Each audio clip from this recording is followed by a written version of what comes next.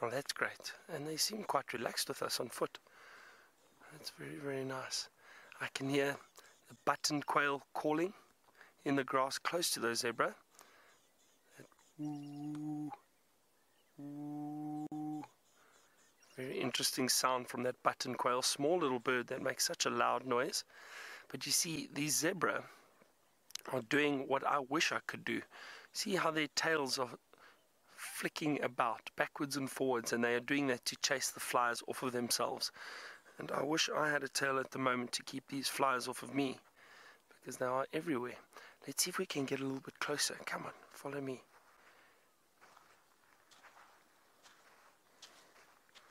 They seem to be very relaxed with us. They definitely know we're here.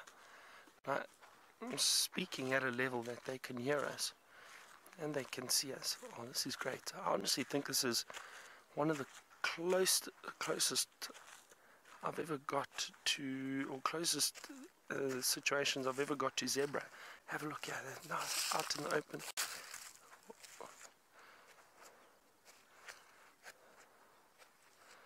See if we stop, they might just stand and carry on feeding. Yeah, look at that. Isn't that amazing?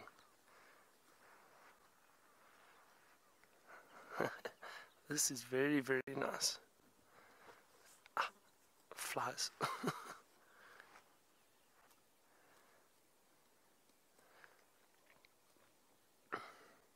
See those tails? They don't stop. There are a lot of flies around the zebra.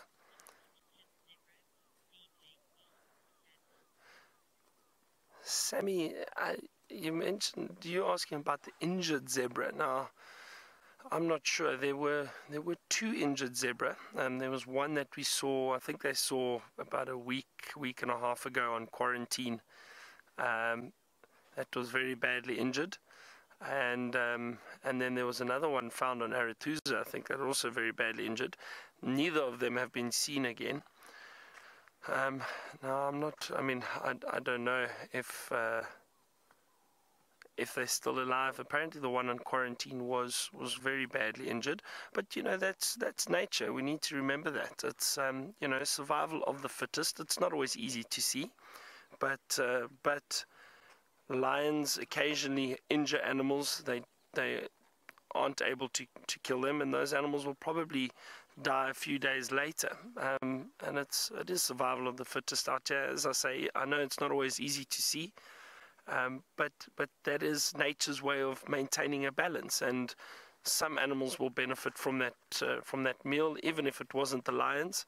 But there'd be hyena, there'd possibly be leopard that scavenge off big kills like that.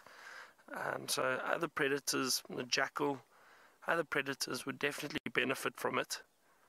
Nothing goes to waste out here.